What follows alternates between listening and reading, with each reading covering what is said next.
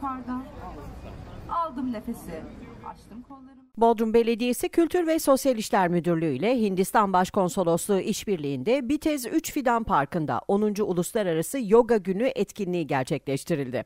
Bodrum Belediyesi Kültür ve Sosyal İşler Müdürlüğü ile Hindistan Başkonsolosluğu organizasyonuyla 10. Uluslararası Yoga Günü etkinliği 14 Haziran Cuma günü Bitez 3 Fidan Parkı'nda yapıldı. Etkinliğe Hindistan Başkonsolosu Shri Mijito Vinito, Bodrum Belediye Başkanı Tamer Mandalinci'yi temsilen Genel Koordinatör Emel Çakaloğlu, Başkan Yardımcıları, meclis üyeleri ve vatandaşlar katıldı.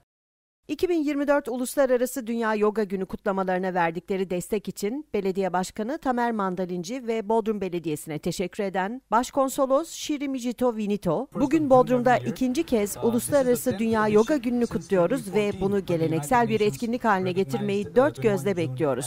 Tüm Türk dostlarımıza Hindistan'ın havasını getirebilmek için Bodrum'da daha fazla etkinlik yapmayı umuyoruz şeklinde konuştu. Genel Koordinatör Emel Çakaloğlu, binlerce yıllık köklere sahip bir uygulama olan yoganın fiziksel esnekliği artıran bir egzersiz, zihinsel ve duygusal dengeyi sağlayan bir yaşam felsefesi olduğunu belirtirken şöyle devam etti.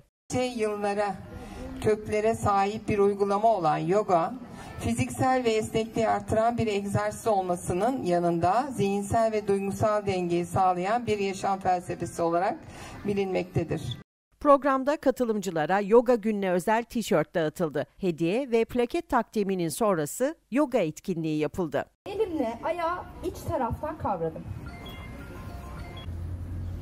Hala rahat arkadaki ayağı elimiz